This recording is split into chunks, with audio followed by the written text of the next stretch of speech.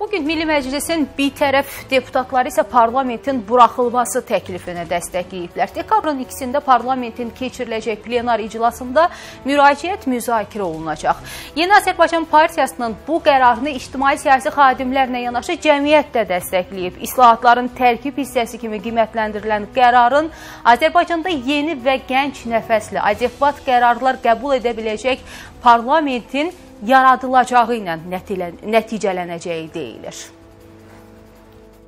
Sonuncu prezident seçkilərindən sonra ölkədə dövlət başçısının siyasi iradəsi ilə ciddi islahatlara başlanıldı.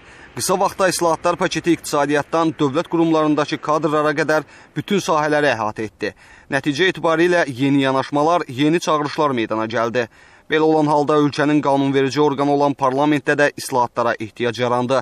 Beləliklə, Milli Məclisdə çoxluqla təmsil olunan hakim partiya dövlət başçısının islahatlar kursu və kadr islahatlarına dəstək vermək məqsədi ilə Milli Məclisin buraxılmasını gündəmə gətirdi. Doğrudan da Milli Məclisin yenilənməsinə ehtiyac var. Kifayət qədər cavan kadrlar e, peyda olub Azərbaycanda.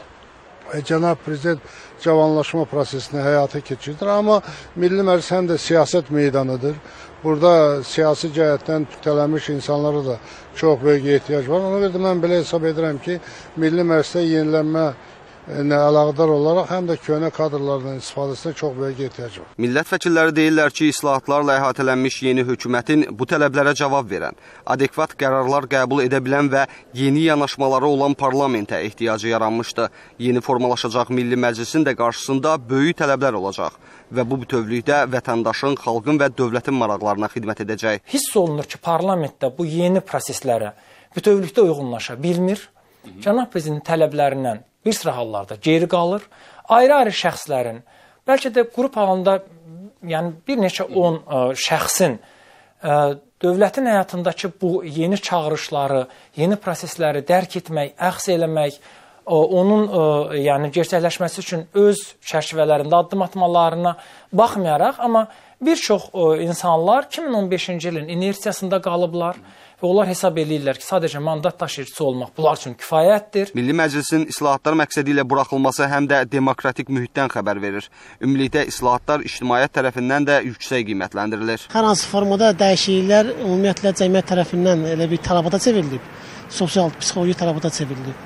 İnşallah bütün bu proseslər həyata keçəndən sonra müsbət ə, tərəflər olacaq, müsbət nəticələr olacaq, o nəticələr olacaq. Əsasən burada nədir? Effektivlikdən gedir. Kadrın effektivliyindən gedir. Onun e, hansı potensiala malik olmasından, onun iş görmə qabiliyyəti, onun cəmiyyətə verə biləcəyi e, uğurlardan gedir. Yəni ki, biz bu kadrlara, son kadr islahatlarına baxsa, burada bunun görərik əsas lokomotiv kimi. Çox normal bir haldır, hətta müsbət bir haldır. Çünki bu cənab prezidentin göstərişi ilə gedən islahatların növbəti mərhələsidir.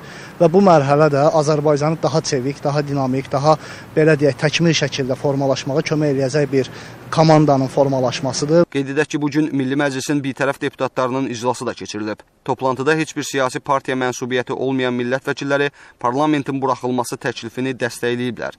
Qeyd edək ki, məsələ dekabrın 2-sində keçiriləcək plenar iclasda müzakirəyə çıxarılacaq. Daha sonra 5-ci çağırış Milli Məclisin buraxılması ilə bağlı növbədən kənar seçkilərin təyin edilməsi üçün Prezident İlham Əliyevə müraciət ünvanlanması nəzərdə tutulub. Nurlan Vilayətoğlu, Həmid Əhmədli, ARB xəbər.